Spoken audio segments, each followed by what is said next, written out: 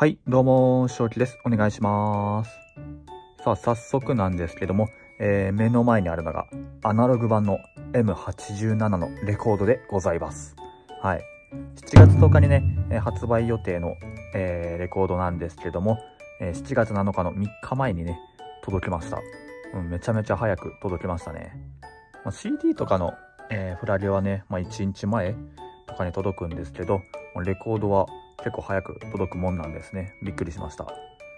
ちょっとね、レコードというものをね、初めて買うんでね、えー、すごいワクワクしております。早速ね、開封していきましょう。いや、まず大きさなんですけども、すごいね、大きい猫ちゃんとね、えー、同じくらいの大きさです。はい、すごいびっくりしました。で、後ろ面紹介していきます。後ろ面はこんな感じです。ドドン。おっとっとっと。さあ、かっこいい柄ですね。うん。なんか宇宙の感じを表した感じですね。うん。かっこいいね。めちゃめちゃかっこいい。さあ、早速中もね、ちょっと開けていきましょうか。はい。それでは開いていきましょう。じゃじゃーん。おっとっとっと。よいしょ。さあ、こちらは、原子米津って書いてあるのかなうん。なんか、いい感じのデザインですね。うん。かっこいい。さあ次は、どうやって開くんだろう。あ、開けはしないのか。ここにレコードが入ってる感じかな。ちょっと開いていきましょうかと。ちょっと片手なんでね、雑になっちゃいますけど、ごめんなさい。さあ、全部出したね。はい、じゃあ一つずつ見ていきましょうか。おー、かっこいい。これは何だろう。歌詞カードかなちょっと見ていきましょうか。さあ、開いてと。おー、歌詞カードですね。かっこいい。てか、でかいね、歌詞カード。さあ、M87 ということでね、ポップソングと ETA がね、えー、収録されてますと。サイド A、サイド B という感じなんですね。もう、レコードというものがちょっとよくわからないんですけども、表面とか裏面で聞く感じなんですかね。後でちょっと試していきたいと思います。はい、こちらが、えー、歌詞ですね。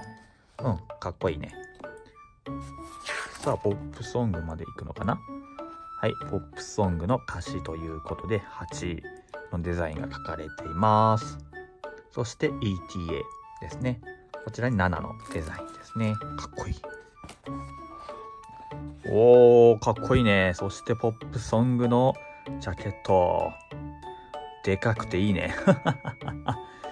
そう、すごいでかいのよ。うん、まあ、わかる通り。やっぱ猫ちゃんとね、引けを取らないぐらいの大きさということで。うん。いや、飾るだけでもこれはなかなかいいね。かっこいい。で、まあ、こんな感じですよ、という。ほうほうほう。で、後ろ面が M87 と。いいね。かっこいい。はい。レコード本体、ちょっと見ていきましょう。えー、こちらサイド A ですね。M87 とポップソング。2つが聴ける感じのやつですね。うーん、レコードというものをね、ちょっと初めて触るんでね、えー、なんかティッシュに包んでね、ちょっと汚れないようにしてます。はい、サイド A ということで、こちらが、はい、サイド B ですね。ETA が聴ける方となっております。かっこいいね。うん。なんかこの穴の周り、地球というか、まあ、月というか、そんな感じになっておりますね。はい。そしてこっちもうん、かっこいい。後でね、ちょっと聞いていこうかなと思います。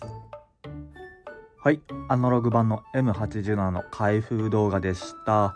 実際にね、聞いてみるのは、えー、後日、ちょっと動画にしてみようかなと思いますんでね、えー、よかったらチャンネル登録、高評価、コメントの方ね、お願いいたします。それでは、またね。